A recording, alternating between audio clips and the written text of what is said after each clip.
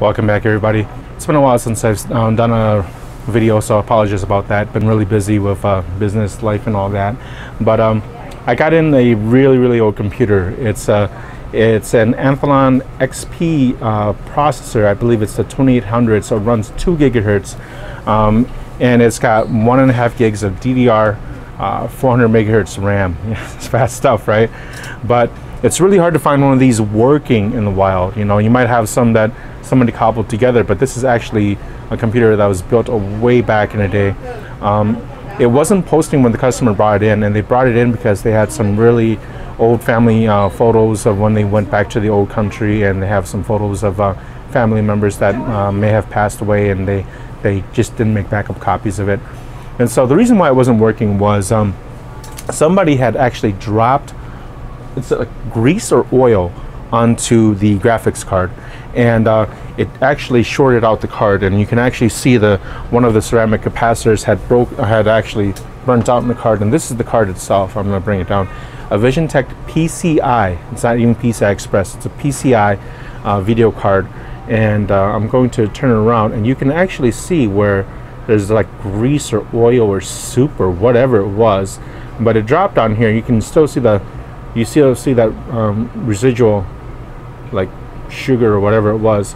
But I'm going to point to this is a ceramic capacitor here and this is a ceramic capacitor that's just burnt out. And then you see this trace here. Uh, I don't know how well you can see it but there you go. It's actually burnt. And you can actually see that burn mark on the uh, on the motherboard itself. So I was really not expecting the motherboard to post but what I did was I connected the uh, VGA connector to the onboard video and voila it posted. Problem was that we couldn't get the uh, customer's uh, um, uh, operating system to post correctly. So you know took out the hard drive and did a check disk on it and eventually I'm gonna turn this around. Sorry if it's shaky we got the customer's computer to or the operating system to post and it is running excuse me Windows XP Professional Service Pack 3 but get this guys it's a bootleg you know windows xp was one of the most bootleg programs so i don't think this customer knew what they were doing when they had this thing built. Um, but the thing is it is running uh, let's see. So i'm gonna zoom in on that. Rocking a xp 2800 plus 2 gigahertz processor. Well like I said, the most important thing is we were able to get their photos up. So this, their uh, operating system actually finally booted up, and we were able to save the the family photos, and that was the most important thing. The computer has a sentimental value to the customer. Um, used to be their son's, and uh, it's pretty old, as you can see. The case is vanillaed up. Um, inside is really messed up. Um, I'm going to try to uh, save the computer for the customer. Sorry for the shakiness, guys. Uh, save the, uh, I think I can put in an old uh, 5200 AGP card because it does have an AGP slot and I, I believe the AGP slot is going to be working. It's on a, it's on a uh, different uh, circuit and it should be enough. I don't know if this is AGP 4 or 8X, but it doesn't matter. It's just a 5200, better than onboard video. Uh, I don't know if it's better than the uh, X1300 PCI, but there's definitely a big difference between PCI and then AGP in terms of speed. So hopefully this will, you know, it's not like you're going to be doing anything HD on it, but just to get a better display out of the uh, out of the computer. And uh, well, it's kind of strange, but I'm putting a, we're put some elbow grease into this one and uh, uh, see what we can do in terms of like you know. Um, tuning it up and uh, getting it back into decent working order. I don't know if I can actually get the customer a, a, working copy of Windows XP as all of you know Windows XP has not been supported for quite a while. I don't even know if the activation servers are still up, but we'll see what we can do for them.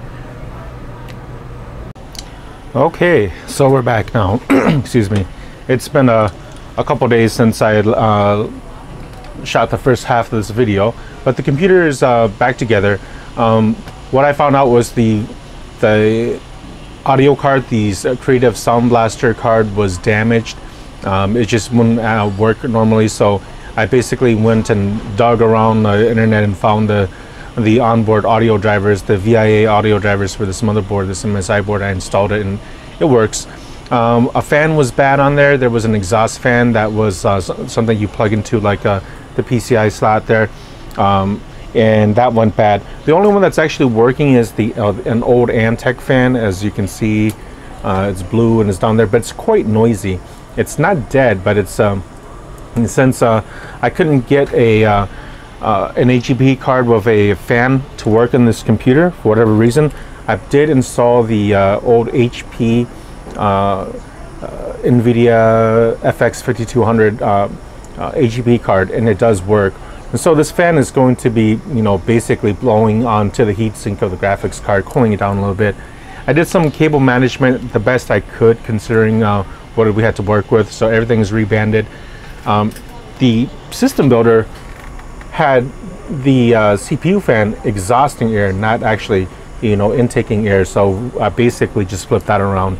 And um, uh, we got Windows XP. Uh, I couldn't up, I could not uh, enter a new uh, key. So on previous versions of Windows XP, um, you can actually uh, force a new key into Windows XP. Uh, and I tried that, it didn't work. And so basically what I did was I did a registry hack and I removed the Windows uh, activation or the Windows, I'm sorry, it's the XP counterfeit um, notice that would pop up here, which is very annoying. It gives you a timer, um, but I'm gonna open up the uh, owner's you can see the audio works and such, and that's uh, I'm the only cameraman again, so please bear with me. So basically, what I did was I turned off all the updates after I did the registry hack, so that they can actually have a background and uh, things wouldn't pop up. So I did turn off the I did turn off the updates because the computer we can't update it if it uh, if it wasn't a legit copy anyway. And I don't even know if the activation servers or the update servers are still working on Windows XP. Uh, the last time I was able to uh, activate a copy of XP was uh, almost two years ago. And so, yeah, everything does work. Um, the graphics pop up pretty nice now. It's it's still, uh, you know, Windows XP is kind of snappy. And so we have Service Pack 3 on here. Uh, Windows is activated oddly enough, but like I said, since it didn't pass their the Windows genuine verification software, it the last set of updates may have been years ago. Um, but then again, if you're using XP right now, uh, hopefully you're not going online with it. You're just using it to run software or, you know, to interface with uh, uh, devices and such, you know. And there's still a lot of programs that are out there for XP. So some people still do use it offline, of course. But yeah, it does. Uh, it's let's say if we go online, I believe Firefox is the only browser that's still supported. Believe it or not, Safari won't work uh, at least not on this CPU because it doesn't have an, an instruction set for um, Safari and Opera. Uh, but Google Chrome, I'm sorry, Firefox still uh, works. So um, in terms of just browsing and checking your email and everything, it should still be fine. And uh, that's about it. YouTube on this, not a good idea. I'm not sure about uh, onboard video. Should be okay. You should be able to play some uh, onboard um, uh, like you know video files and such, and it should play fairly decently. But anything online uh, with this old of a computer, you know, just really really wouldn't be a nice browsing experience. But again, this is just a uh, it's something that doesn't come in very often. It's something that's pretty old tech, um, and I just want to do a quick video about it because you know uh, it's something you don't see that uh, out in the wild that's actually working that much anymore.